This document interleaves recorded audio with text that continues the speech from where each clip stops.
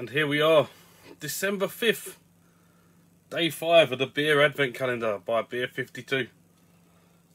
Yeah, we are, uh, one of them's collapsed. We can see the can there, that's meant to be day 9. So the sides ain't very good. But day 5 is here. We're going to crack into it and see what it is.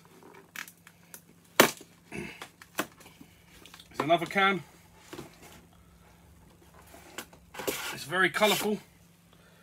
We have got, oh, another stout. A Hammerton of London. Sundae sauce, chocolate and vanilla Sundae stout. Coming in at 5.6%.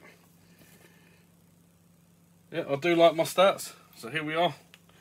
Beer 52 glass for Christmas one yet again. The one we struggled to get out on day one.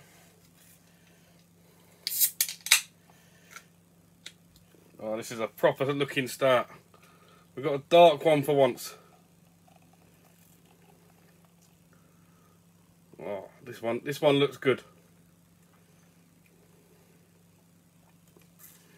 So a Sundae sauce, chocolate and vanilla Sundae start. Put that there.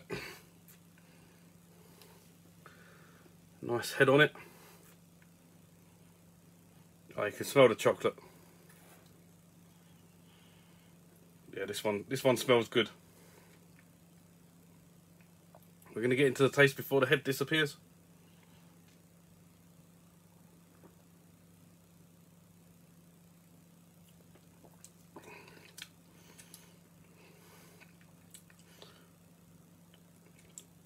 It's like a little burnt taste to it.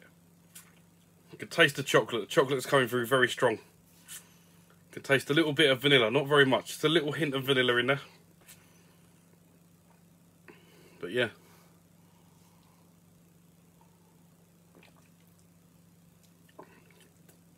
That is definitely one I'm going to be looking out for, especially if it's from London. So uh,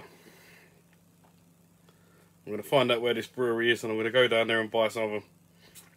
But yeah, that is the Sundae sauce. Chocolate and vanilla. Sundae stout. 5.6%. And that is day five done. Come back for day six and we'll see what we get then.